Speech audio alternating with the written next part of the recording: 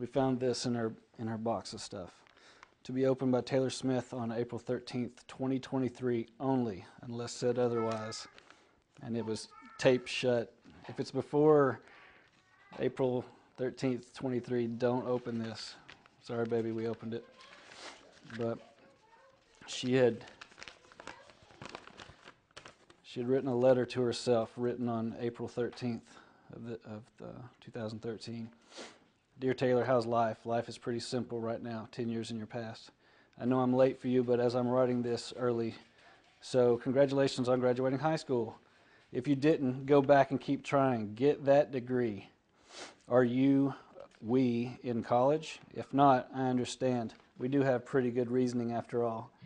Don't forget, it's Alana's 11th birthday. Sheesh, 11 already? In my time, she was just turned one. I didn't get to go to that party, though, because I was in Cranks, Kentucky for my first mission trip. I've only been back for six days. Speaking of, how's your relationship with God? Have you prayed, worshiped, read the Bible, or gone to serve the Lord recently? If not, get up and do so now. I don't care what point in your life we're in right now, do it. He was mocked, beaten, tortured, and crucified for you, a sinless man who never did you or any other person any wrong. Now, have you gone on any more mission trips? Have you been out of the country yet? How about on a plane? Is Doctor Who still on the air? If not, what regeneration did they end it with?